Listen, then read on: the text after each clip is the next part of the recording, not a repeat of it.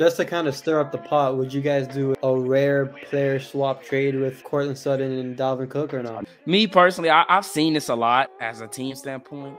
I think it's a no-brainer, honestly. Look, I know everybody has the questions about Dalvin Cook, his injuries. Look at Dalvin Cook's monster games and tell me that you don't want Dalvin Cook. And I think with Javonte, he won't get as hurt as you know frequently as he does. And you get a player like Dalvin Cook on this offense. I think it makes the whole offense wide open. I'm not doing it. I'm not doing it. I, I just feel like running back, running back, the value, I don't value it as high as some other people. I feel like Javonte will be a dog this year coming back from his injury. Don't sleep on Perine. I just I don't I don't like that move. I feel like you got to keep Courtland Sutton in that room. That wide receiver room, I kept telling everybody we were one injury away from disaster. I don't want to get rid of Courtland Sutton. I like Courtland Sutton. I don't I, I just uh, I feel like you don't need two of those running backs in your room when I think Perine can do something for you.